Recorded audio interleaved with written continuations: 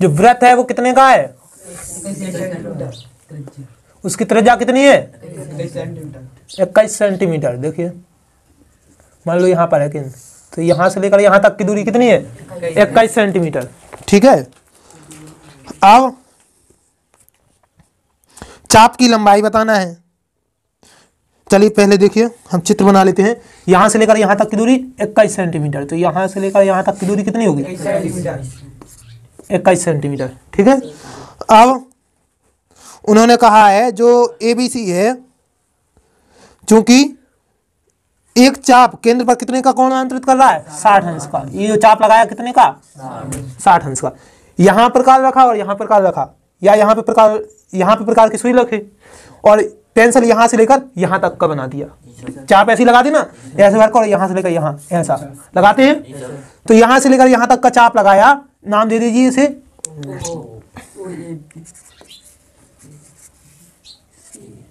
ये चाप लगा दिया एबीसी वाला। ठीक है? अब जो चाप एबीसी है, वो वृत्त के केंद्र, ऊपर कितने अंश का कोण बना रहा है? साठ अंश का कोण बना रहा है। और उन्होंने कहा है, इसका क्षेत्रफल बताइए। सॉरी चाप की लंबाई बताइए। चाप की लंबाई मतलब ए से लेकर बी और बी से लेकर सी तक की लंबाई। मतलब यहाँ तक की परिधि। परिधि तो बतानी है, लेकिन कहाँ तक की बतानी है? ए बी सी चाप तक की। कहाँ तक की परिधि बतानी है? ये वाली लंबाई। जो ये है। है ना? ये वाली लंबाई बतानी है। अब चूँकि वृत्त की परिधि कितनी होती है? Two pi r. उसका कितने हिस्सा? कितने हिस्सा करना है? तो 360 का कितना किया? 60 360 में से कुल कितने लिए? तो थीटा बटे 360 लगा देंगे। टू पाई आर गुणे थीटा बटे 360 जितने अंश का भी ये चाप जितने अंश का भी कोण आंतरित करता है वो है ना? तो हम लिखेंगे चाप की लंबाई बराबर। चाप की लंबाई बराबर टू पाई आर गुणे थीटा बटे तीन सौ साठ। समझ में आ रहा है? परिधि में से कितने का हिस्सा? थीटा बटे तीन सौ साठ। पूरे वृत्त की परिधि क्या आएगी? Two pi r. उसका हमें कितने में हिस्सा निकालना है? इतने में हिस्सा निकालना है? थीटा बटे तीन सौ साठ। चलिए देखिए। तो इसे आप कर लेना। पाई का मान बाईस बटे सात, आर का मान कितना रख दोगे? इक्कीस सेंटीमीटर। थीटा की जगह पे कितना रख दोगे? साठ सेंटीमीटर। और तीन सौ साठ बटे में है। अब बस इसे क्या? गुणा भाग हल करना है। पहला क्वेश्चन हो गया, दूसरा देखिए। दूसरा क्या कह रहा है? त्रिज्या खंड का क्षेत्रफल। क्षेत्रफल का सूत्र लगा देंगे। त्रिज्या खंड कौन सा होगा? त्रिज्या खंड। देखिए, चाप यहाँ पे कौन सा होगा? चाप होगा ए बी सी चाप होगा ए बी सी और त्रिज्या खंड त्रिज्या खंड होगा पूरा, जैसा केक का टुकड़ा होता है। ओ ए बी सी ओ ठीक है? वैसे तो हम करते हैं यहाँ तक। ओ ए बी सी लेकिन आपको ठीक प्रकार से समझ में आ जाए, इसलिए हम ओ साथ में जोड़ रहे हैं। ओ से स्टार्टिंग की ओ ए बी सी ओ त्रिज्या खंड का क्षेत्रफल। तो वृत्त का क्षेत्रफल कितना होता है? Pi square square pi r square उसका थीटा बटे तीन सौ साठ. ये क्या हो गया? उस त्रिज्या खंड का क्षेत्रफल. ये सूत्र लगा देना, आपका आ जाएगा. ठीक है? अब क्या ज्ञात करना है? संगत जीवा द्वारा बनाए गए वृत्त खंड का क्षेत्रफल. जीवा द्वारा बनाए गए वृत्त खंड. जीवा, कौन सी? संगत जीवा. संगत मतलब इसकी वजह से. जो जीवा बन रही है। तो ठीक है, देखो, हमने चाप कहाँ लगाया था? एक ए और सी ए से लेकर सी तक का हमने चाप लगाया था। तो जीवा हम वहीं पे बनाएँगे ना कि हम यहाँ पे जीवा बनाएँगे ना यहाँ पे, है ना? तो ए से लेकर सी तक हमने क्या? जीवा खींच दी। जीवा खींच दी। अब उन्होंने क्या पूछा? जीवा की वजह से जो वृत्त खंड बना है, उसका क्षेत्रफल बताइए। कौन सा? लघु वृत्त खंड। देखिए, मान लो हमारे पास एक वृत्त है। और कहीं पे भी खंड कर दो तो क्या हो जाएँगे? वृत्त का ही खंड होगा कि नहीं? एक छोटा होगा और एक बड़ा? तो देखिए ए और सी इतने वाला जो खंड है इसका हमें क्षेत्रफल बताना है। समझ में आ रहा है कुछ सवाल? वृत्त का खंड। एक लघु व्रत खंड हो जाएगा एक दीर्घ व्रत खंड हो जाएगा। लघु व्रत खंड छोटा वाला दीर्घ मतलब बड़ा वाला। चलिए देखिए तो लघु व्रत खंड का क्षेत्रफल निकालने के लिए हमें क्या निकालना पड़ेगा? त्रिज्या खंड। के क्षेत्रफल में से त्रिभुज का क्षेत्रफल घटाना पड़ेगा। आगे बात समझे? क्या घटाना पड़ेगा? हमें ये निकालने के लिए कौन सा? लघु वृत्त खंड निकालने के लिए हमें क्या करना पड़ेगा? त्रिज्या खंड के क्षेत्रफल में से। त्रिज्या खंड मतलब पूरा। उस त्रिज्या खंड के क्षेत्रफल में से हमें क्या घटा देना पड़ेगा? त्रिभुज का क्षेत्रफल जिससे हमें क्या प्राप्त होगा? ये लघु त्रिज्या लघु वृत्तखंड प्राप्त होगा। समझ में आ रहा है? चित्र के अनुसार समझ में आ रहा है कि नहीं? हमें क्या ज्ञात करना है? लघु वृत्तखंड ज्ञात करना है उसका क्षेत्रफल। तो हम क्या करेंगे? हम पूरे त्रिज्या खंड में इस परिधि सहित लेंगे हम चाप सहित हम लेंगे त्रिज्या खंड त्रिज्या के साथ जो खंड बना। उसमें से हम क्या घटा देंगे? त्रिभुज का क्षेत्रफल घटा देंगे। हमें क्या प्राप्त होगा? लघु त्रिज्या खंड जब इस पूरे में से इतना घटा देंगे ऊपर ऊपर का त्रिभुज तो क्या बचेगा? एबीसी बचेगा? समझ में आ रहा है? तो त्रिज्या खंड का क्षेत्रफल यहाँ से हम निकाल लेंगे। और अब हमें निकालना है त्रिभुज का क्षेत्रफल। किसका निकालना है? त्रिभुज का क्षेत्रफल। अब यहाँ ये अंश का तो बना नहीं रहा है कि एक आधार एक ऊंचाई होगी, है ना? तो इसके त्रिभुज का सूत्र क्या होगा? आधार। आधार तो हो गई एसी। और ऊंचाई क्या होगी?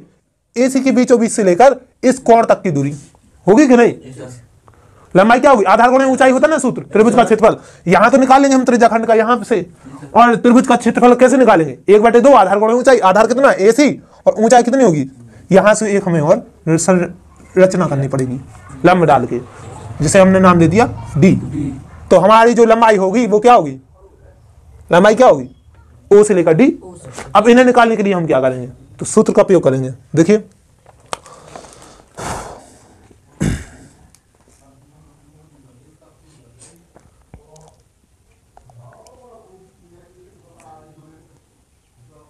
क्या आपको ए से लेकर सी तक की दूरी है? नहीं है ना? और आप वैसे भी नहीं निकाल सकते कि भैया ये ये लंब और ये आधा हो जाए ये कर्ण जैसे पिछले सवाल नहीं कर सकते क्योंकि वहाँ क्या था? नब्बे अंश बन रहा था। वहाँ क्या समकोण बना रहा था? बना रहा था कि नहीं? लेकिन यहाँ पे क्या समकोण बन रहा है? यहाँ पे तो साठ अंश बन रहा है। तो उसकी वजह से आप एसी नहीं निकाल सकते एसी कैसे निकालना पड़ेगा? एसी हमें निकालना पड़ेगा त्रिकोणमिति के नियम से। तो यहाँ पे जो साइन साठ बन रहा है सॉरी जो साठ अंश का कोण बन रहा है वहाँ कितने का बनेगा? तीस तीस का। तीस। इस तरफ़ तीस उस तरफ़। तो उससे हम क्या निकालेंगे? एक से ए डी निकालेंगे। ए से लेकर डी देखिए इस साइड कितना बनेगा? तीस अंश।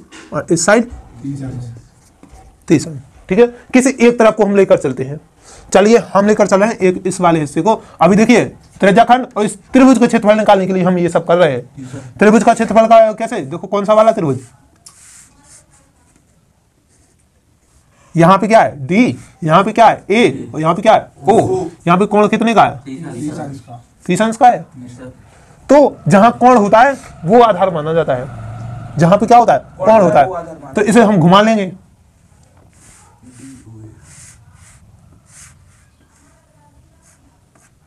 यहाँ पे? डी और यहाँ पे? ओ ठीक है? ओ से लेकर डी क्या हो गया? आधार? ओ से लेकर डी क्या हो गया? आधार। और ए से लेकर डी और देखिए, इसका देखिए कितना दी है? ये ए से लेकर ओ ए से लेकर ओ कितनी दी है? इक्कीस। और क्या हमें ये दी है? और ये ये भी नहीं दी है। अब हम कैसे निकालेंगे कौन कितने का बन रहा है? तीस अंश का। हमारे पास क्या है? कर्ण है। और हमें क्या निकालना है? लंब निकालना ना? लंब बटे कर्ण। किसमें होता है? साइन में। हम साइन तीस का ही क्यों लगाएँगे क्योंकि देखिए, लंब और कर्ण किसमें होता है? साइन में होता है। हमारे पास कर्ण तो है, हमें क्या निकालना है? लंब निकालना है। यदि आधार निकालना होता तो हम कॉस वाला या और कोई। ठीक है? हम क्यों निकाल रहे हैं? क्योंकि हमारे पास कारण तो दिया है, लेकिन हमें क्या निकालना है? लंब, जो कि किसमें होता है? साइन में होता है। तो साइन तीस का सूत्र लगाएँगे। साइन तीस बराबर। देखिए, लंब बटे कर्ण। लंब कितना है? ए से लेकर डी। ए से लेकर डी। और कर्ण कितना है? इक्कीस। साइन तीस का मान कितना होता है? एक बटे रूट दो। कितना होता है? एक बटे दो। एक बटे दो। कितना? और साइन पैंतालीस का होता है एक बटे रूट दो। पैंतालीस का कितना होता है? एक बटे रूट दो। और सैंतीस का एक बटे दो। चलिए देखिए तो एक बटे दो। एडी दस दशमलव पाँच। ठीक है? ए से लेकर डी तक का मान कितना आ गया? दस दशमलव पाँच। और डी से लेकर सी का कितना आ जाएगा? दस दशमलव पाँच।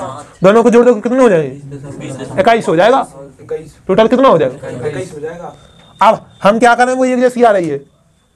इसका इस तरह से कोई लेना देना नहीं है कि वो इक्कीस आ रही तो उससे कुछ मेल जोल होता है ऐसा कुछ नहीं। वो आ रही तो हम क्या करें? है ना? वो संयोग बस आ रही है ऐसी। चलिए देखिए तो एडी बराबर कितना आया? दस दशमलव पाँच। एडी आ गया हमारे पास। इससे हम आधार निकाल लेंगे। अब हमें निकालना है ओ और डी क्या निकालना है? ओ और डी तो देखिए आधार हो गया हमारे पास। कर्ण हो गया। लंब निकाल लेंगे। लंब का सूत्र क्या होता है? लंब निकालो चाहे आधार चलो ये ये मान लो हमने इसे आधार माना। ठीक है? वैसे तो हमारा आधार इस के नियम के अनुसार आधार ये होगा। कौन सा होगा? ये। हमारे पास अभी क्या मिला एडी एडी कितना है? दस दशमलव पाँच। ठीक है? जी सर। और ये कर्ण हमारे पास कितना है? इक्कीस। हमें क्या निकालना है? ओ डी चाहे आधार मान लो इसे। चाहे लंब मान लो। कुछ फ़र्क नहीं पड़ेगा। कुछ भी फ़र्क नहीं पड़ेगा। चाहे ओडी को आधार मान लो चाहे एडी को आधार मान लो। क्योंकि यदि जब हमें लंब का मान निकालना पड़ता है तो आप कर्ण में से घटाते हैं और आधार का मान निकालना पड़ता है तो कर्ण में से घटाते हैं। समझ में आ रहा है? चलिए देखिए तो हम निकाल रहे हैं डी ओ चाहे ओ डी कह लो। कैसे निकालेंगे? हमारे पास क्या है? क्या निकालना है? आधार निकालना है। इस चित्र के अनुसार हमें क्या निकालना है? आधार। और हमें दिया क्या है? कर्ण। कर्ण और आधार किसमें होते कौस में। होते ना? कौस तीस। यहाँ तीस तो ये हो गया आधार। और दूसरी भुजा क्या होगी? कर्ण। कौस थीटा बराबर क्या होता है? आधार बटे कर्ण। होता है कि नहीं? कॉस थीटा बराबर क्या होता है? आधार बटे कर्ण। तो आधार कितना है? ओ से लेकर डी बटे कर्ण कितना है? ए से लेकर ओ यही है ना? कॉस तीस का मान कितना होता है? जितना साइंस था कितना आ जाएगा? इक्कीस रूट तीन बटे दो। किसका मान? ओ से लेकर डी तक का मान। ठीक है? देखिए, हमें क्या क्या मान प्राप्त हो गया? ए से लेकर डी और हमें क्या? ओ से लेकर डी। तो आधार ए से लेकर सी बराबर क्या आएगा? ए से लेकर सी। किसा आएगा? हमारे लिए आएगा ए से लेकर डी का दोगुना। यही आएगा? तो देखिए दस दशमलव पाँच गुणा दो तो कितना आ जाएगा? इक्कीस दशमलव ज़ीरो। इक्कीस दशमलव ज़ीरो मतलब सिर्फ़ इक्कीस।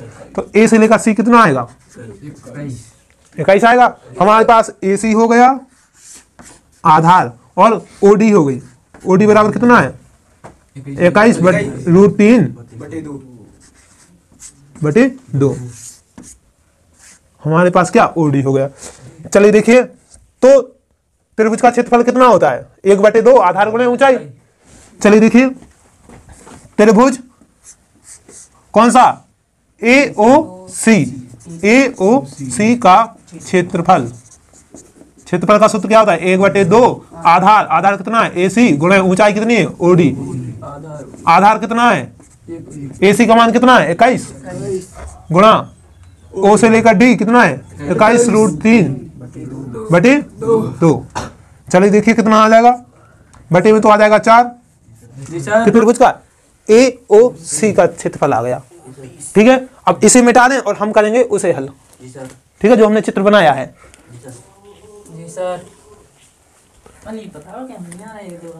चलिए देखिए। तो हमें क्या निकालना है? वृत्तखंड। कौन सा? ए बी सी ए बी सी वृत्तखंड। का क्षेत्रफल क्या आएगा?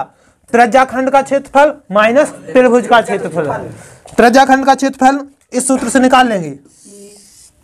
ठीक है? त्रिज्याखंड का क्षेत्रफल तो देखिए इसमें हम लिख ले रहे हैं। दो सौ इकतीस। कितना? दो सौ इकतीस। कौन सा लघु? ये क्या? वृत्तखंड लघु? वृत्त खंड का क्षेत्रफल। लघु वृत्त खंड कौन सा? ए बी सी सी का क्षेत्रफल कितना आएगा? तो देखिए त्रिज्या खंड का क्षेत्रफल माइनस त्रिभुज का क्षेत्रफल। लिखे दे रहे हैं डायरेक्ट ठीक है?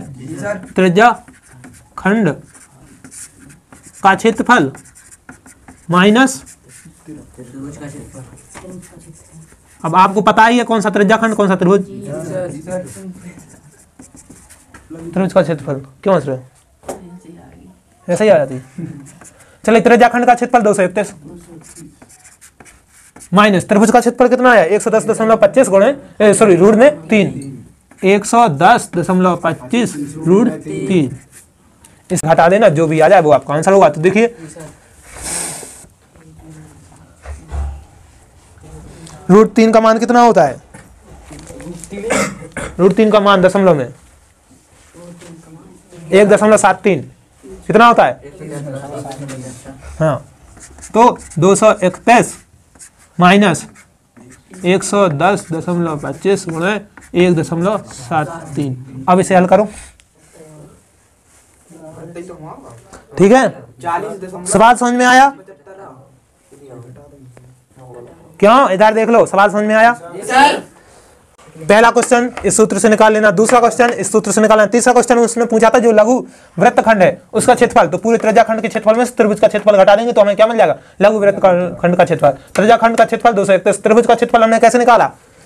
साइन साठ और साइन तीस और कॉस तीस की मान से हमने क्या? एडी और ओडी का मान निकाल लिया एडी का मान निकाला तो उससे क्या एसी का मान निकल आएगा? साइन तीस से हमने जो मान निकाला एडी का उससे क्या निकल जाएगा? एडी का दोगुना कर दो एसी का मान आ जाएगा। और कॉस तीस से हमने किसका मान निकाला? कॉस तीस से किसका मान निकाला? ओडी का मान निकाला। ठीक है? फिर त्रिभुज के क्षेत्रफल में लगा दिया एक बटे दो। आधार गुणे ऊंचाई। ओडी का मान इक्कीस रूट तीन। और एसी का मान कितना आया? इक्कीस। इनका सॉल्व करने पर इतना आया। त्रिभुज का क्षेत्रफल कितना आया? एक सौ दस दशमलव पच्चीस रूट तीन। त्रिज्याखंड के क्षेत्रफल में त्रिभुज का क्षेत्रफल घटा देंगे किसका क्षेत्रफल आ जाएगा? लघु वृत्तखंड का क्षेत्रफल। समझ में आया? चलिए करता है। तो संगत लघु और दीर्घ वृत्तखंडों का क्षेत्रफल बताना है। इसे कर लेना। सर। बस हम मेन मेन बता दे रहे हैं करना क्या है। छठवां क्वेश्चन क्वेश्चन नंबर छठवां। चलिए देखिए क्या कह रहा है वो? कि हमारे पास जो त्रिज्या है कितने सेंटीमीटर वाली है? पंद्रह सेंटीमीटर त्रिज्या वाला एक वृत्त है। जिसकी त्रिज्या कितनी है? पंद्रह सेंटीमीटर। हमारे पास जो वृत्त है, वो कितने सेंटीमीटर का है? पंद्रह सेंटीमीटर त्रिज्या वाला है है ना? इसमें उन्होंने कहा है, जो संगत लघु वृत्तखंड है और दीर्घ वृत्तखंड है, उसका क्षेत्रफल ज्ञात करना है। हमें क्या ज्ञात करना है? हमें ज्ञात करना है नीचे वाले वृत्तखंड का क्षेत्रफल और जो बड़ा वाला हिस्सा बचा है उसका क्षेत्रफल। तो दीर्घ वृत्तखंड तो हमें निकाल लेंगे आराम से। कैसे? पूरे वृत्त का क्षेत्रफल में से हम क्या घटा देंगे? लघु वृत्तखंड का क्षेत्रफल घटा देंगे। इधर देखो गधे। पूरे वृत्त के क्षेत्रफल में से हम क्या घटा देंगे? लघु वृत्तखंड का क्षेत्रफल घटा देंगे। इतना हटा देंगे तो कितना? दीर्घ वृत्तखंड का क्षेत्रफल बचेगा। अब लघु वृत्तखंड का क्षेत्रफल कैसे निकालेंगे? जैसा हम अभी तक निकालते आए। सर।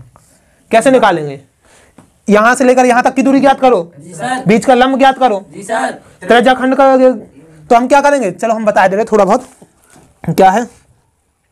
उन्होंने देखो साथ में बताया है। पाई बराबर तीन दशमलव चौदह और रूट तीन बराबर एक दशमलव रूट तीन बराबर एक दशमलव सात तीन का प्रयोग करना है। चलिए देखिए तो हम क्या करेंगे? इसे नाम दे देंगे कुछ। A B. ठीक है? और ये सी। और यहाँ से लेकर यहाँ तक का डी। ठीक है? हमें क्या करना है? ए बी सी। ए बी सी क्या है? लघु वृत्त खंड। लघु वृत्त खंड का क्षेत्रफल। कौन सा लघु वृत्त खंड? A B C. A C B. ठीक है? ए C B A C? A C B लघु वृत्त खंड का क्षेत्रफल कैसे आएगा? पूरा त्रिज्या खंड। बताया था ना हमने चित्र से? त्रिज्या खंड कौन सा? त्रिज्या खंड। कौन सा? ओ ए सी बी ओ कायदे से तो सिर्फ़ बी तक लिखा जाता है। हम लेकिन आपको समझ में आ जाए इसलिए बाद में वो लगा रहे हैं। इसके क्षेत्रफल में से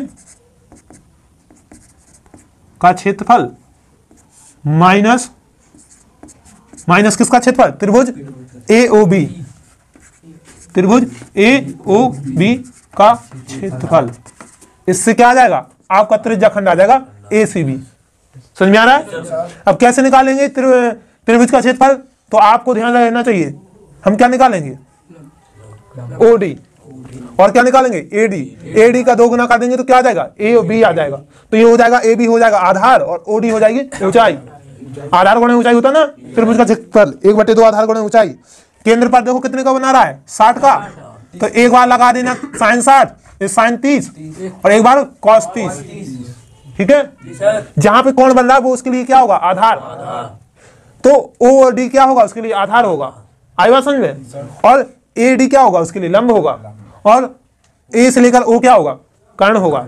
उसके अनुसार आप साइन और कॉस का सूत्र लगा देना। साइन तीस का और कॉस तीस का, जिससे कि आपको ए डी और ओ डी आ जाएँगे। ओडी तो हो जाएगा लेकिन जब एडी आएगा तो एडी का दोगुना कर देना तो ए बी एक बटे दो आधार गुणे ऊंचाई। समझ में आ रहा है? चलिए देखिए। अब हमें निकालना है दीर्घ वृत्तखंड का क्षेत्रफल। दीर्घ वृत्तखंड कौन सा होगा? बचा हुआ सीधा जो। कौन सा? इसे मान लो ई दे दिया। ठीक है? जी सर। ए ई बी कौन सा? देखिए इतना सा हिस्सा। O A E B O. नहीं त्रिज्या खंड नहीं त्रिज्या खंड थोड़ी ना कर रहा है। फिर तो वो त्रिज्या खंड आप त्रिज्या लो उसमें से निकाला है हमने। तो वृत्त का क्षेत्रफल चलिए यहाँ पे देखिए। दीर्घ व्रत खंड का क्षेत्रफल। कौन सा दीर्घ वृत्त खंड? A E B. इस व्रत खंड का क्षेत्रफल क्या आएगा? तो व्रत का क्षेत्रफल क्षेत्रफल माइनस लघु वृत्त खंड का क्षेत्रफल ए सी बी लघु वृत्त खंड का क्षेत्रफल। पूरे वृत्त के क्षेत्रफल में क्या? लघु वृत्त खंड का क्षेत्रफल घटा दो, क्या आ जाएगा? वृत्त खंड का क्षेत्रफल आ जाएगा। समझ में आया? चलिए देखिए क्वेश्चन नंबर क्वेश्चन नंबर सातवां। क्या कह रहा है?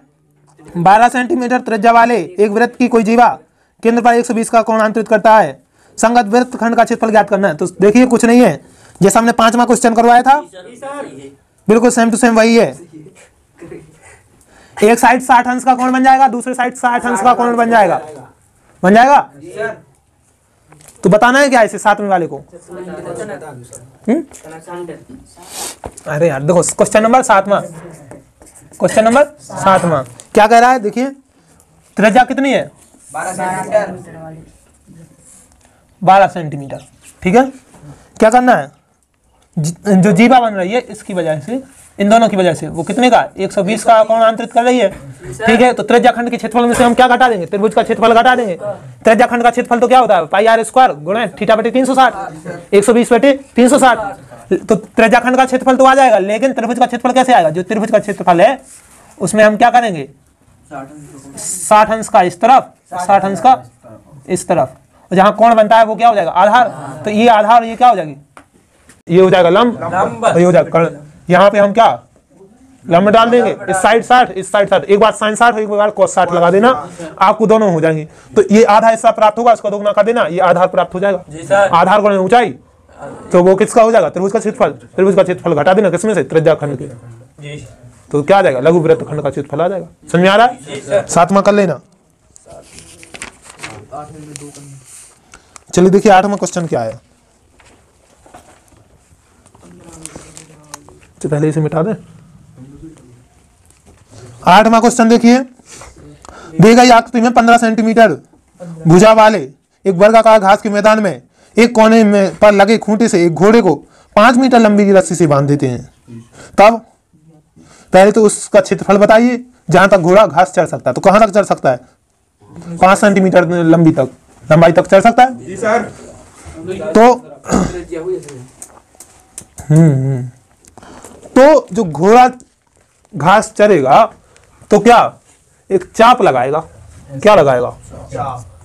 कौन सा क्वेश्चन है? आठवां? आठवा। मान लो घोड़ा इस कोने में बंधा है। ठीक है? सर। तो अधिकतम इस साइड तक जा पाएगा और अधिकतम इस साइड तक। जा पाएगा। वर्ग है वो वर्गाकार है ना? तो हम अधिकतम सीमा बता रहे हैं। मान लो यहाँ पे वर्ग खत्म है। ठीक है? यहाँ पे खत्म है। अधिकतम सीमा बता रहे हैं हम। अधिकतम सीमा क्या? ऐसी रहेगी कि नहीं? चलो आपको वैसे चित्र बना के बता दें। आप भी महान है। मान लो यहाँ पे है खूंटा। सर। अधिकतम मान लो यहाँ तक जा पाएगा। अधिकतम यहाँ पे कहा? यहाँ पे ऐसा चल पाएगा घोड़ा? कि नहीं तो कुछ समझ में आ रहा है? लेकिन ये ऐसा चित्र नहीं बनेगा। क्यों? क्योंकि ये जो भुजा दी गई है इसकी सेंटीमीटर में और रस्सी दी गई है मीटर में। समझ में आ रहा है? इसलिए हमने डायरेक्ट आपको वैसा चित्र बता दिया। मीटर में था कुछ और बताया है क्या इसमें?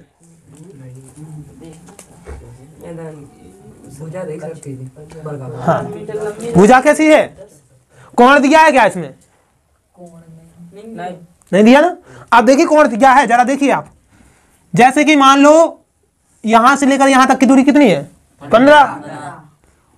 यहाँ से लेकर यहाँ तक की दूरी पंद्रह है। ठीक है? पाँच मीटर मान लो यहाँ तक हो रहा है और इसका पाँच मीटर मान लो यहाँ तक हो रहा है। वर्ग में कितने का कौन बनता है? सर। कौन दिया है? सर। यहाँ से लेकर यहाँ तक घोड़ा चल सकता है। समझ में आ रहा है? सर। तो इस त्रिज्या खंड का क्षेत्रफल यहाँ पे कितने का कौन बन रहा है कुछ समझ में आ रहा है? तो उन्होंने पूछा है मैदान के उस भाग का क्षेत्रफल बताइए जहाँ तक घोड़ा घास चढ़ सकता है। तो यहाँ तक का चढ़ सकता है। चढ़ सकता है कि नहीं? तो इसके अनुसार त्रिज्याखंड का क्षेत्रफल क्या होगा? बस देखिए।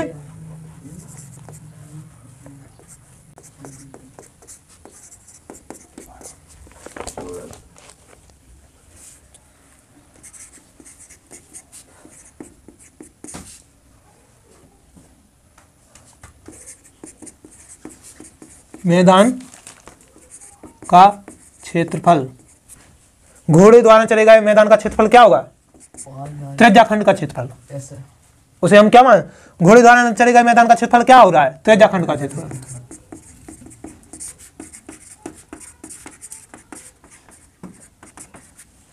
समझ में आ रहा है? यहाँ से लेकर यहाँ तक का कितना? है पाँच। यहाँ से लेकर यहाँ तक का कितना? है पाँच। पूरा कितना? है पंद्रह। समझ में आ रहा है? जी सर तो देखिए त्रिज्या खंड का क्षेत्रफल का सूत्र क्या होगा? घोड़ा कितने? त्रिज्या खंड के क्षेत्रफल के बराबर करेगा। चलिए देखिए, सूत्र पाई आर स्क्वायर गुणे थीटा बटे यही ना? काली काली पेन से कर नहीं लगाओगे चलिए देखिए, अठहत्तर दशमलव पाँच चलो।